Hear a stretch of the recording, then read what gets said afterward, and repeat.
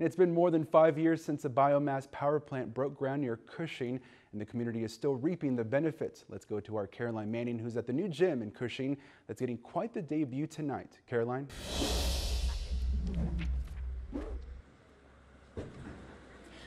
Good evening, John Carlos. I'm live here in Cushing at the grand opening of the Denny Sides Coliseum, the highly anticipated basketball facility for the Cushing ISD. Now, this stadium has been in the works for the past five years, and thanks to property taxes from the Cycle Biomass plant and a $7 million bond passed by the school board, this stadium is state of the art.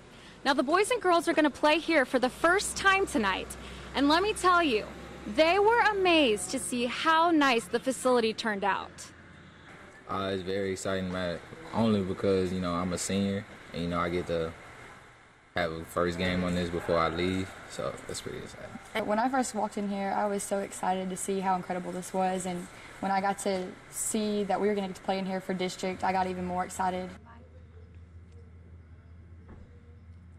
Now behind me in the gym, the girls are warming up. They're about to tip off.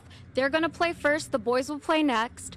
Both teams are playing Neches tonight, and it's going to be a good one. Stakes are high. A lot is riding on both of these games tonight. Live in Cushing, I'm Caroline Manning, KTRE East Texas News 9. Thank you, Caroline. And she's right. Both games are important for Cushing tonight as the girls are, have a shot at clinching the district title and the boys are fighting for a spot in the playoffs. Laura will have the highlights at 10.